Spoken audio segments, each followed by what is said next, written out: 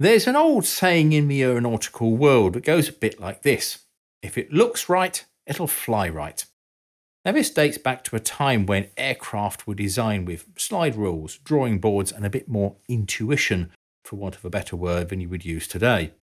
Back then, there was no supercomputer modelling of fluid dynamics. Aerodynamics were limited to using the wind tunnels of the time, and computer controlled surfaces to control aerodynamically unstable designs weren't even a dream. In the early part of the 20th century, aerodynamic smoothing was all the rage and was seen in many places on trains, on cars, and of course on aircraft. So there was a certain amount of truth in the saying. Although, as we will see, if something looked a bit odd or strange and didn't conform to the right look, it didn't necessarily mean that it wouldn't fly right, it just might mean that it would fly differently to how you might expect. So in this video, I'm going to look at some of the stranger looking aircraft that you might think would have difficulty just getting off the ground and see why were they built in the first place and if they really do break the if it looks right, it flies right rule. Now, if anything exemplifies the experimental aircraft, it's the X-planes, prototype aircraft built in the US since the 1940s that tested the boundary of flight and have led to some of the biggest breakthroughs in aviation. The X in the name represents experimental, and they were usually operated by NASA, its predecessor, the NACA, or DARPA.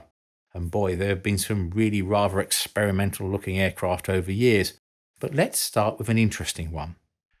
The Douglas X 3 Stiletto was a 1950s experimental jet aircraft with an incredibly long nose, a very gentle taper to an equally slim fuselage, semi buried cockpit and windscreen, and tiny trapezoidal wings. The reason for this design choice was to try and create as little drag as possible at supersonic speeds, induce stability, and test the feasibility of low aspect ratio wings, shifting the loading from the wings to the fuselage. To combat the heat generated from the expected extreme speeds, it will be one of the first aircraft we made mostly out of titanium. However, things didn't go well from the offset. Its primary goal was to investigate the design features required for sustained supersonic speeds of up to Mach 2.6, 2,000 miles an hour or 3,200 kilometers per hour. The irony was that it was so seriously underpowered in level flight that it only managed to get to Mach 0.91, or 706 miles an hour or 1136 kilometers an hour at 20,000 feet. The only way it could get anywhere near the supersonic speeds it was designed to test was during up to 30 degree dives.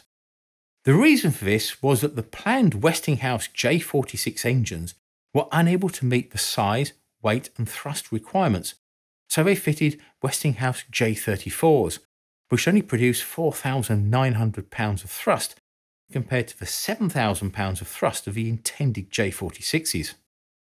On its first flight, they soon discovered that this lack of power made it difficult to control, made worse by the high takeoff speed of 260 miles an hour or 420 kilometers per hour. Although the X3 was designed to study supersonic stability, in tests when rolling the aircraft between Mach 0.9 and Mach 1.154, it would experience roll inertia coupling. This is where a maneuver in one axis, like rolling left or right, would cause an uncommanded maneuver in one or two of the other axes, like pitch and or yaw, and it very nearly led to the loss of the aircraft. This was early proof of a phenomena which usually occurred in particularly amongst long, thin aircraft designs. The X3 was good for tests though, with most of its mass concentrated in the long, narrow fuselage rather than its wings, typical of fighter designs of the time. Of the two X3s ordered, just one was built. They toyed with the idea of replacing the J 34s with rocket engines, but after 51 nerve wracking test flights, it was decided that the roll inertia coupling and with even higher speeds, it would just be too dangerous to fly. The X3 was retired in 1956 and is now at the National Museum of the United States Air Force at Wright Patterson Air Force Base, Dayton, Ohio. Although the X3 never lived up to its expectations, it did provide valuable information on the dangers of roll inertia coupling.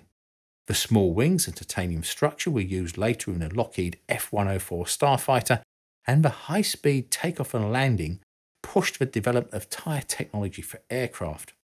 As for the very long nose, this has made a comeback in another much more recent X plane, the Lockheed X 59, which is still in development. The very long nose design here is an attempt to fly supersonically with a very low sonic boom. Now, while aviation technology might not always be what it seems to be, today's sponsor NordVPN does what it says on the tin. And that is to make your browsing experience safer and better by keeping your real IP address hidden from hackers and trackers, whilst combining this with their built in Threat Protection Pro that checks downloads for malware and links for connection to known fake, malicious, phishing, fraud, and even scam websites. Keeping your real IP address hidden allows you to look like you're in another part of the world, something which I use a lot because it allows me to visit websites in the US for research, but without being geographically blocked because ISPs still think the UK is in the EU, even though we left it over four years ago. Now, you can do the same to view sports channels, movies, and TV that you might not have access to in your country, and it can be used on up to six devices at once, which is great for the whole family. And if that wasn't enough, NordVPN now includes a dark web monitor that will check known hacker hangouts to see if your details are showing up even if you're not using the VPN feature. Act now and get my exclusive NordVPN two year deal plus four months extra for free by using the link nordvpn.com forward slash curiousdroid, which is in the top of the description below. And there's even a 30 day money back guarantee, so it's risk free as well. Now, from something which looked like it was a needle to something which looked like it shouldn't be able to fly at all, and was nicknamed a flying bathtub for a reason. This was the NASA M2F1, built for research into lifting bodies, aircraft which gain their aerodynamic lift not from wings but from the shape of the body itself. Essentially, a lifting body aircraft can be thought of as a fuselage but without any wings and in particular, these were designed for subsonic, supersonic, or hypersonic flight, and particularly for spacecraft re entry. The M2F1 was a little bit more basic, being built out of mahogany plywood over a tubular steel frame, and with no engine, it was basically a glider. Its first flights in 1963 were by being towed behind a car along a runway, then being towed by a DC 3 at up to 12,000 feet, where it would be released and glide back to the runway, landing at 80 miles an hour or 130 kilometers an hour. In all, over 400 ground tow flights and 77 aircraft tow flights were made in the M2F1. Its successor, the M2F2, will be a true heavyweight flying laboratory, weighing in at over three tons and built by Northrop Corporation in 1966. These would be glide flights before powered test flights would be performed later. This time, the M2 F2 would be carried to 45,000 feet or 14,000 metres under the wing of a B 52. Everything went well up until the last of 16 flights, when it suffered from pilot induced oscillation nearby a lake bed landing area as it was coming into land. The pilot, Bill Peterson, corrected the oscillation but was then distracted by a rescue helicopter which he thought might be a collision threat and drifted into a crosswind on an unmarked area of the lake bed. Because there were no markers on the ground for the pilot to follow, he found it difficult to judge the height and hit the lake bed before the landing gear was fully deployed and locked. In the spectacular looking crash that followed, the vehicle rolled over six times, but the pilot survived and the airframe was rebuilt. The crash footage was later used in the opening credits of a $6 million Man TV series. The third in this series of NASA lifting body vehicles was the HL 10, again built by Northrop Corporation. This added a third tail stabilizer and a Reaction Motors XLR 11 rocket motor with 8,000 pounds of thrust. During a typical flight, the HL-10 would be dropped from a B-52 at 45,000 feet. A few moments later, the rocket engine would be ignited and it would fly for up to 100 seconds of powered flight, reaching between 50 and 80,000 feet or 15 to 24,000 meters at speeds of up to Mach 1.86, making this the fastest lifting body aircraft in the program. It would then follow a simulated return from Space Corridor to land at the Rogers Dry Lake at Edwards Air Force Base, landing at about 200 miles an hour or 320 kilometers an hour. The UASF were also interested in lifting bodies, and in April 1969, the X 24A, built by Martin Marietta, was first flown. This looked even more like a plane that had been built without any wings, but was completely redesigned in 1972 into the X 24B, which its shape would then go on to greatly influence the space shuttle design after the initial HL 10 shape was considered and then rejected because the curvature of the lifting body would make it too difficult to attach an external fuel tank to. So the delta wing shape and design of the X24B was used instead. The X24B delta wing design was also an exercise in cost reduction as the rounded top flat bottom double delta planform was cheaper to make than the continuously curved design of the HL10. The X24B performed similar figures to the HL10, reaching a maximum speed of Mach 1.516 at 73,130 feet or 22,590 metres and flew 36 missions, 12 unpowered and 24 powered. Now we go from a supersonic plane with no wings to something that doesn't even look like a plane at all, with no wings, tail or fuselage, but can fly up, down, left or right and required no runway. Yes, we're talking about the Rolls Royce Thrust Measuring Rig, aka the Flying Bedstead. And this was the first jet lift aircraft to fly anywhere in the world and would become the basis of probably the most famous VTOL or vertical takeoff and landing aircraft, the Harrier Jump Jet. The Thrust Measuring Rig, or TRM, was built to explore the capabilities of new jet engines that were being developed after World War II. It used two Rolls Royce Nene turbojet engines mounted back to back in a steel framework, which was supported on four legs with casters for wheels. To the left and right and forward and aft, there were compressed air jets, which were used to stabilize the craft when hovering and moving. Its first flight was in August 1953. There were no lifting surfaces, so all the thrust was being directed downwards.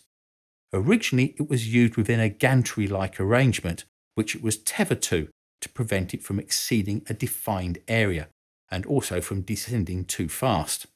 In 1954, it was moved to an open air research facility to research artificial stabilization of both during hover and low speed stages of flight. Although it could hover and move around with the thrusters, it didn't have a directional thrust as such, which meant wind speeds of more than 6 miles an hour or 10 kilometers an hour or greater would make it difficult to control. The biggest problem that new pilots to it found was the lag between the throttle movements by the pilot and the engine response time of around 1 to 2 seconds. But they soon learned to accommodate this and became quite adept at the height control. Two TMRs were built. The first one survived the failure of its vectored thrust system in September 1957 but the second one was destroyed a month later during a test flight leading to the death of its pilot, Wing Commander Larsen, who had been piloting it for the first time. But the TMR was just a means to an end, and the next step will be to build an actual aircraft, and this will be the Short SC 1 built by Short Brothers of Northern Ireland. This used a much more conventional aircraft frame, so they will be able to fly both horizontally but also take off and land vertically. To do this, they used five Rolls Royce RB108 turbojet engines, four of which were mounted vertically and used for vertical flight, and one for the conventional horizontal flight, although by most reports it had a reputation as being a somewhat ungainly aircraft to fly. The SC1 also introduced the first fly by wire and automatic stability control in a VTOL aircraft that could be switched to manual in the event of an automatic system failure. Two prototypes were built and began tethered flights in 1958. In 1960, it made its first free untethered flight, and it appeared at the Paris Air Show in 1961 when it performed a demonstration flight. The second aircraft crashed during a test flight in 1963, which also killed its pilot. The cause was determined to have been a control malfunction. During the tests, it was found that almost any surface could be used to do the vertical takeoff and landings from, but the debris thrown up from the loose ground could be a risk to personnel nearby, but not to the aircraft itself. The vertical engines were mounted in pairs, which could be swiveled fore and aft for acceleration or deceleration along the longitudinal axis. In the later Hawker Siddeley Harrier, these will be replaced by one large Rolls Royce Pegasus engine that directed its hot engine exhaust and compressed air from a large fan mounted on the front of the engine through a set of four rotatable nozzles. The fan also supplied compressed air to drive the puffer jets at the ends of the wings and the front and rear of the aircraft to give it control during hover manoeuvres. The SC 1 prototypes were flight tested between 1957 and 1971, and the research that came from it resulted in the development of the Hawker Siddeley Harrier, which became the first operational VTOL aircraft, after which its retirement in 2006 was replaced almost 10 years later by the Lockheed Martin F 35B, which remains the only jet powered VTOL multi role aircraft in service today.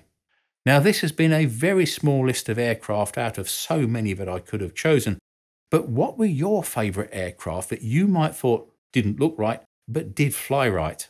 Let me know in the comments below. And as always, thanks for watching and thanks to our patrons for their ongoing support.